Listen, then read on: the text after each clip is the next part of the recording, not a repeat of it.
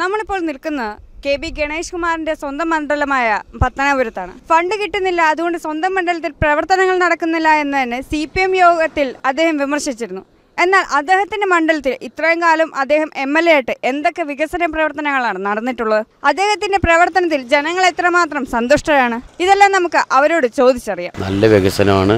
നല്ല പ്രവർത്തനം. വർഷം കൊണ്ട് ഇവിടെ രണ്ട് പാർട്ടിയിലുള്ള സമയത്തും നല്ല വികസനമാണ് നല്ല പ്രവർത്തനമാണ്. അടുത്ത ഉറപ്പായിട്ടും ജയിക്കും. എല്ലാ വികസനം ഈ പത്തനാപുരം കുന്നിക്കോട് ഈ മറ്റേ വെട്ടിക്കാവല ഈ പ്രദേശങ്ങളിൽ കംപ്ലീറ്റ് എല്ലാ വികസനത്തിനും മുൻകൈ എടുത്ത ആളാണ് ഗണേഷ് കുമാർ. ഇതേപോലൊരു എം എൽ എ ഞങ്ങൾക്ക് കിട്ടാനില്ല.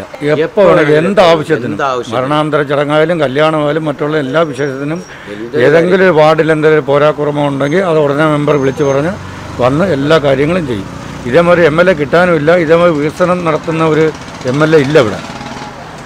പുള്ളിയെ ഇനി തോപ്പിക്കാനും ആർക്കും പറ്റത്തില്ല. മരിക്കുന്നത് വരെ ഇവിടെ M L A M P മന്ത്രിയായിട്ട് Ganesh Kumar കാണും.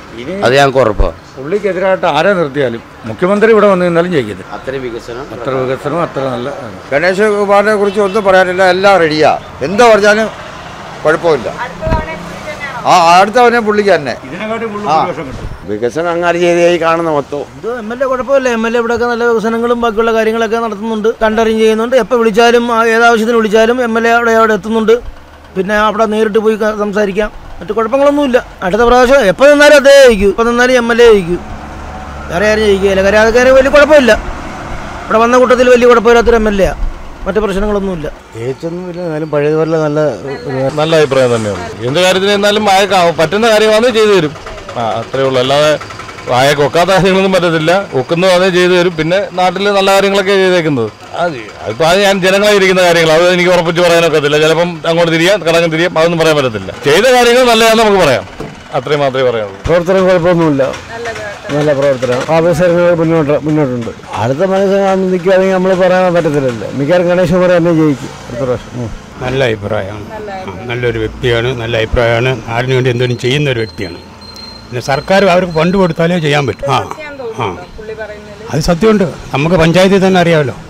പഞ്ചായത്തിൽ തന്നെ ഒരു ഫണ്ടുമില്ല ചുമ്മാ വിദ്യാലയം ഇപ്പോൾ രണ്ട് കൊല്ലം ഇലക്ഷൻ കഴിഞ്ഞ് എന്തുകൊണ്ട് ചെയ്ത് ഒന്നും ചെയ്തില്ല. ഫണ്ടില്ലാത്തതുകൊണ്ട് തന്നെ. പുള്ളി കൊണ്ട് എല്ലാം ചെയ്യുന്നുണ്ട്. പുള്ളി എന്ത് എല്ലാത്തിനും നല്ലൊരു പിന്നെ അത് ഷുഗറാണ് ആ കാര്യം സംശയം വേണ്ട.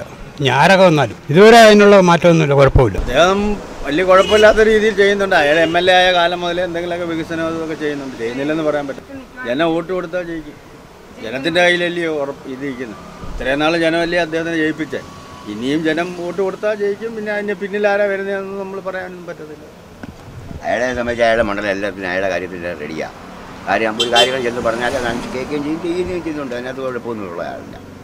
പിന്നെ പിന്നെ പറഞ്ഞാൽ ഇപ്പൊ പൊതുവേ പിന്നെ സാമ്പത്തിക കുഴപ്പമാണ് കൊറോണ കഴിഞ്ഞതിന് ശേഷം വലിയ കുഴപ്പമാണ് എല്ലായിടും രാജ്യം മൊത്തം കുഴപ്പമാണ് പിന്നെ അതിന്റെതായിട്ടുള്ള ഒരു ഇത് വരും. സ്വാഭാവികമാണ് വികസന പ്രവർത്തനങ്ങൾ നടക്കുന്നുണ്ട്. പറഞ്ഞതിനൊക്കെ പറയാനുള്ള കാര്യങ്ങൾ എം എൽ എ അന്വേഷണങ്ങളൊക്കെ വികസനങ്ങളും കാര്യങ്ങളൊക്കെ നടക്കുന്നുണ്ട്. മറ്റു പ്രശ്നങ്ങളൊന്നുമില്ല. പിന്നെ ഈ പറഞ്ഞ തെരഞ്ഞെടുപ്പ് ചോദിക്കുമെന്ന് ചോദിച്ചാൽ അത് അത് ജനങ്ങളായിരിക്കുന്ന കാര്യമില്ല. നമ്മൾ കറക്റ്റായിട്ട് പറയാൻ പറ്റത്തില്ലല്ലോ.